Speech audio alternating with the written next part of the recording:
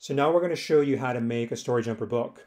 On the left-hand side, you can see that there are five different types of content that you can add to your book.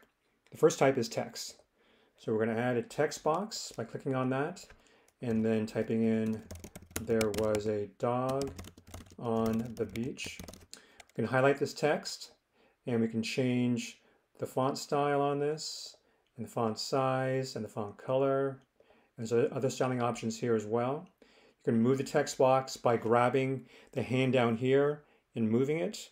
And then you can also resize the text box with these yellow boxes. The second type of content you can add are props. So we're going to add a dog here on the left-hand side.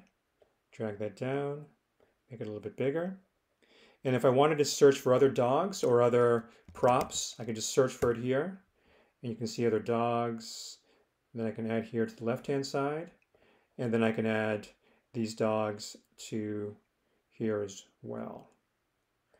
Now this is a lot of fun here. You can also click on this button here that says design characters and you can design your own characters that look like you or your family members or your friends.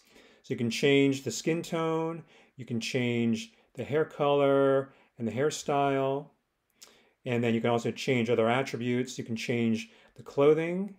So let's go and add some shorts and wear some sandals. And then when you're done designing your character, you can then click finished and then click on the character to add the character to your page.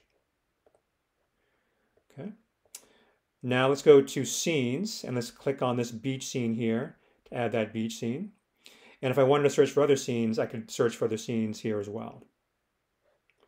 The fourth content type is photos. So here you can add your own photos. You can upload your own artwork, your own photos if you want here by clicking on that button or by dragging the photo into the page. Or you can search for other photos that we have in our art library. So I'm going to search for a beach photo. I'm going to convert this to a scene. And then I'm going to then change the scene to this. I'm going to actually remove this second dog by clicking this garbage can. And then finally, I'm going to add my voice. Here I'm going to record. There was a dog on the beach.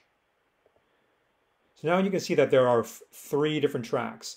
I just recorded my voice track. I can add a background music track by clicking plus. I can choose from different music. I'm going to choose the ocean back, background music there. And I'm also going to add a dog sound effect. You can click on here to see what it sounds like. Then click plus to actually add it. So when I click the play button, then all the three tracks will be mixed together.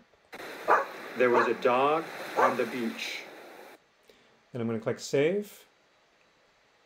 All right, so now we've added five different types of content to the page. And now you can see that here are some navigation buttons to move to the left and also, to move to the right of, of the book. And you can also drag pages um, back and forth to move the position of pages. And you can also delete, add, and copy pages as well. So now I'm going to move back to the very front cover, I'm going to change the title here uh, to My Day at the Beach. I'm going to change the color of the front cover and also the style as well. All right, so I can write this book all by myself, or I can also collaborate with some of my classmates and friends. So I can click collaborate and then type in the name of some of my friends like Luke Skywalker and Princess Leia, so that when they log into their StoryJumper account, they will see the book and they can edit the book as well.